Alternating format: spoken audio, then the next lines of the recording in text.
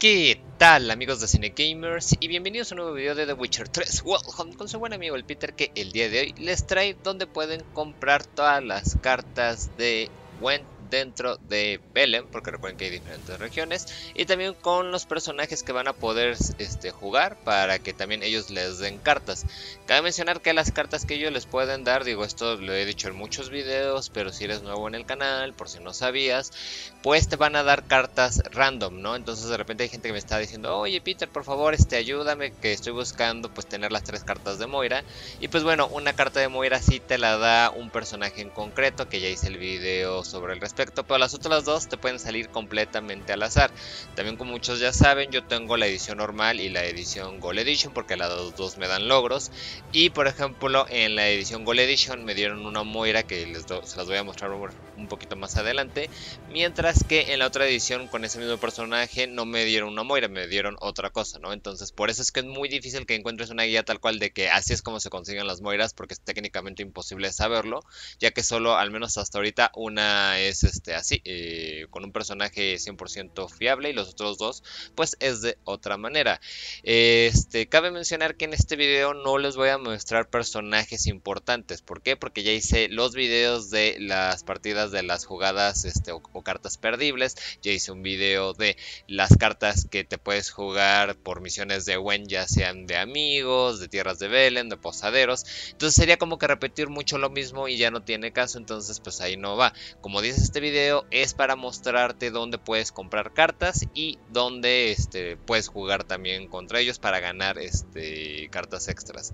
Ahora, si alguien me pregunta, oye Peter, ¿qué pasa si vuelvo a jugar con ellos? Es muy al azar. Generalmente te van a, si vuelves a jugar contra ellos, te vuelven, en vez de darte otra carta, ya te dan como que un material dependiendo de, de lo con quién estés jugando, si es un armero, si es un vendedor, puede ser comida, puede ser material para que luego te fabriques alguna armadura, pero sí puede ir variando. Hay veces que después de un rato, o sea, no sé, digamos que fuiste con ellos muy al principio del juego y luego vamos a decir que el juego se divide en cuatro partes y entonces ya pasaste la primera parte que como dije que aquí iba a haber spoilers, entonces pues voy a tratar de no decir muchos, pero para que se den una idea, digamos que ya terminaste con la historia de Siri en que no la encontraste ni en Bell y en Novigrado y que ya te vas a las islas Skilch, entonces regresas y tratas de jugar otra vez con ellos y la mayoría te vuelven a dar cartas, no siempre, pero la mayoría te vuelve a dar por lo que yo estuve probando. Así que si tú ya habías comprado con alguno de ellos o cualquier cosa, mejor regresa y vuélvelo a checar. Mira, la verdad es que vale la pena, como yo lo estoy haciendo, volver a ver si no están vendiendo cartas, porque yo en algunos creía que ya había comprado y no, y viceversa, entonces pues chécalo. Te recuerdo que en el canal encontrarás la guía, pues una de cómo aprender a jugar Wen, porque aquí si te estás dando cuenta yo estoy cortando todas las escenas de las partidas de Wen, porque aquí sí no quiero que dure el video dos horas y media, no tiene chiste este que que, veamos cómo, pasa eso. Eh, puedes encontrar la guía de las partidas de Wen de los personajes importantes, en donde ahí sí me ves jugar y ves estrategias que comparto y mi opinión. puedes encontrar la guía de las diferentes partes, ¿no? De Novigrado, que aunque no lo queden en Novigrado, aunque es una zona muy pequeña, hay muchos lugares a donde ir, de Belen, de las Islas Skelch, para que si puedas votar uno de los logros trofeos más difíciles del juego y así puedas platinar tu juego, que es conseguir todas las cartas. Pues bueno, aquí en este canal te estoy ayudando a conseguirlo, entonces chécalo con la lista de reproducción. Ahí también encontrarás los contratos de The Witcher para que así puedas sacar eh, logro trofeo de todos los contratos, la guía de diferentes builds por si te quieres probar un build de señales, por si te quieres probar un build de ataques rápidos, de ataques fuertes, de pociones que es el que yo traigo, este builds para marcha mortífera en específico, que oye, si funciona en marcha mortífera, si lo estás jugando en niveles más bajos, pues funciona mil veces mejor, ¿no? Este, consejos que doy y demás, eh, cómo conseguir las mejores armaduras, armas, todo está en este canal. Entonces, checa esa lista de reproducción, yo creo que te la puedes pasar súper bien. También te recuerdo que en la descripción de este video encontrarás, pues, este las diferentes secciones, ¿no? De en dónde estamos yendo, de bueno, estamos en esta parte del mapa, estamos ahora acá, estamos acá, cuántas personas te puedes encontrar ahí, si hay un armero, si son dos armeros, si son si hay dos vendedores, todo lo vas a ver ahí, minuto exacto en que lo tomo para que también tú vayas a tu timing, a tu ritmo, por si luego pues no te da tiempo de ver el video completo, pues ahí está para que lo veas a tu propio ritmo y no te preocupes por eso. En general, este siento que es un juego sencillo, como ya les había dicho antes, pues eh, lo que tienen que hacer si están empezando y no dominan el juego, pues pónganlo en fácil, solo went.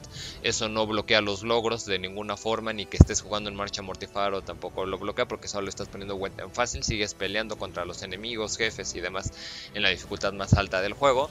Y una vez que ya digas, oye, es que ya me los estoy arrastrando, ya este, estamos haciendo unas diferencias de, no sé, mi enemigo, o sea, me hace 27 de daño, yo le estoy metiendo putizas de 137 generalmente, pues ya le subes a normal y si dices, bueno, sí, ya me está dando algo de trabajo, pero aún así las partidas son de, no sé, de... Ah, pues, ¿qué, te gusta? 67 y tú de todas maneras haces 110, entonces pues también pues lo puedes subir a difícil. Este, a este men también podemos comprarle cartas. Según yo, aquí son como que también algo aleatorias. Hay veces que ya las tengo. Entonces por eso es que no me, enfoco mucho. El siguiente que vamos a ver fue el que a mí me dio la Moira. Entonces la van a ver un momento. Y van a ver que ya tengo la otra. La otra, como ya les había dicho, fue porque ese sí es parte de un personaje. Y este, pues al menos ya tengo dos. La verdad es que me he ido mucho con un deck específicamente. Me ha gustado mucho. La verdad es que no me he animado a probar los demás. La verdad es que yo, desde Magic, este, también que juego Hearthstone, una vez que como que conozco un deck con el cual ya, ya me siento cómodo, este, me cuesta mucho pues querer cambiar, además de que siento que los otros tres decks tienen mecánicas totalmente diferentes, que eso está padre, que tengan diferentes este, mecánicas, aquí está la Moira como se les había dicho, eh, y el que me la dio fue el dude que está, porque es también aquí, es el armero, está de este lado. Ah, por cierto, el otro dude con el que nos enfrentamos, traten de buscarlo alrededor de este pueblo porque a veces está cortando flores, a veces está arreglando carretas, o sea, como que se da sus vueltas. No es así que tenga un lugar fijo dentro del pueblo, entonces pues búsquenlo, pero generalmente siempre está al, principio de, la entrada, no, no está tan tan lejos tampoco. Pero sí, sabía que si no, de repente me decían, oye Peter, es que tú muestras que está pues aquí y a mí no me mostró, no estaba aquí, sino que estaba del otro lado, maldita guía que no me sirvió, pinche estúpido. Eh, si aún así tienes alguna duda, algún comentario, ya sabes que como siempre me lo puedes dejar aquí abajo. Si este video te sirvió, este, pues ese pequeño like siempre se agradece porque como siempre se los digo, eh, a mí me cuesta pues mucho tiempo, trabajo, dedicación hacerles esto. No gano un centavo de YouTube, no me dan un solo centavo de YouTube. Gano a veces un poquito de algunos de ustedes que me dan sus donaciones, entonces de ahí pues a veces saco para comprarme un juego, cosas así, pero tampoco saco para vivir. Pero me gusta ayudar a la gente, me gusta siempre ver a la gente cuando me aunque sea un video de 3 años atrás o 5 años atrás que me dice, no mames, pinche guía super cabrona, con esa por fin platiné mi juego, entonces me gusta, siempre me gusta leerlos cuando me dicen eso. Y me gusta que lo dejen en el video tal cual, ¿no? Porque últimamente me pasa que no se subo un video de, por ejemplo, estas cartas y me están preguntando sobre cómo hacerse un build. Y yo así, de ¿por qué no me dejas esa en los videos de los builds? O ¿por qué no me dejas? E-? O sea, me preguntan por una armadura y le digo, ahí están las armaduras, ¿por qué no me preguntas eso en la armadura? Como que creen o creo que tienen pavor de que si, te, si me escriben algo en un video muy viejo no lo voy a responder, que no me va a llegar la notificación.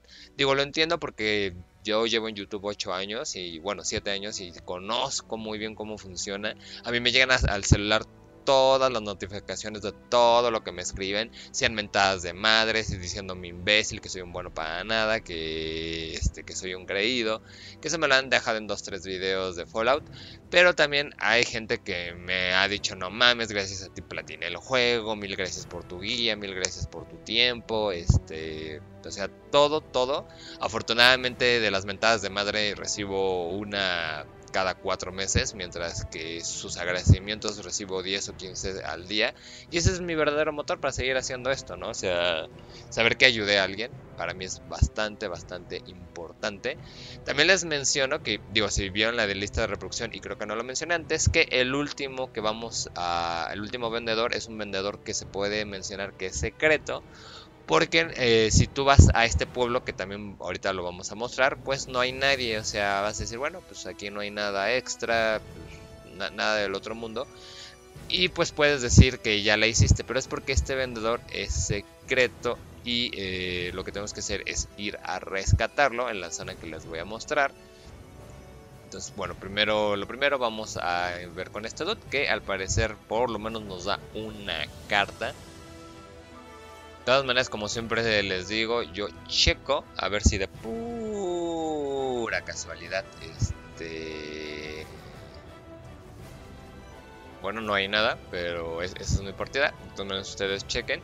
Casi siempre la gente que te reta o Gwen muchas veces te puede, te está ofreciendo eh, cartas a, vender, aunque ya la tengas, no, y te aparezca ahí el detalle de ya tienes esta carta, no importa, cómprala, cómprala, cómprala, cómprala, porque luego porque te falte una, ya no te botó el logro o el trofeo y es una mentada de madre. Ok, pues aquí va el vendedor secreto. Tenemos que lo va a rescatar. Aquí para que se den una idea de dónde estaba Kirian Moretz, de a dónde nos manda y todo lo que tenemos que hacer en ese lugar. Y va a ser un lugar de bandidos. Si estás en tu primera vuelta, porque yo sé que algunos de ustedes van a decir, no mames, ¿cómo lograste estar nivel 70 y tantos? 70, 71 en este caso. Y que los enemigos te salgan en ese nivel. Si a mí me están saliendo, o sea, si son nivel tanto, yo apenas soy nivel 8, ¿cómo lo voy a lograr? Es que se me hace imposible. Yo estoy en el New Game Plus, por eso es que los enemigos me salen en este nivel de dificultad.